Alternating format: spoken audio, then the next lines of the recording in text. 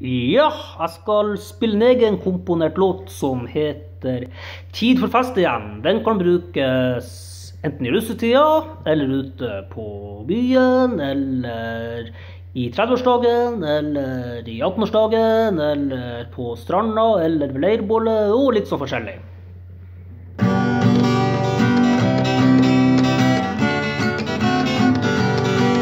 Ja, da begynner jeg å shine her, snart så stormer folkene inn.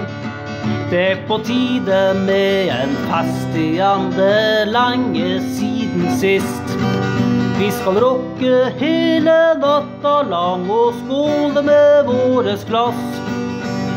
Først her hjemme i kåken min, så skal vi ut alle mann. Rai, rai, rai, rai, rai, rai, rai, rai, rai, rai, rai, rai. Rai, rai, rai, rai, rai, rai, rai, rai, rai, rai, rai, rai. Inn kommer Lars og Norme ved bassgitar for å få stemninga opp. Så kommer Jon og hjelper meg å få fylt velkomstdrinkene opp. Så kommer Gunnar og Kristian med vin og whisky, og Linda og Charlotte er med. Så kommer Randi og Susanne, og da skrur jeg på musikken, så er stemninga på topp. Rai, rai, rai, rai, rai, rai, rai, rai, rai, rai, rai. Rai, rai, rai, rai, rai, rai, rai, rai, rai, rai, rai, rai.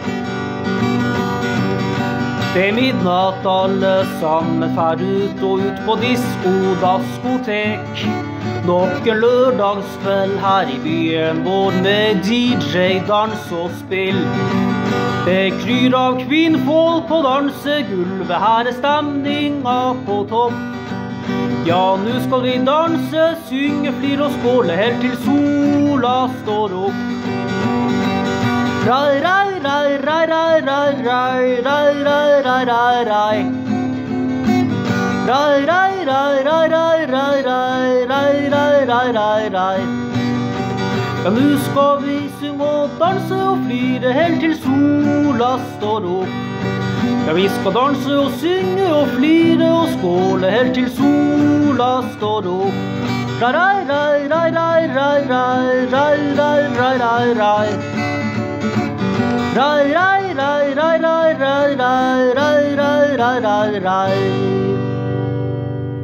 yes.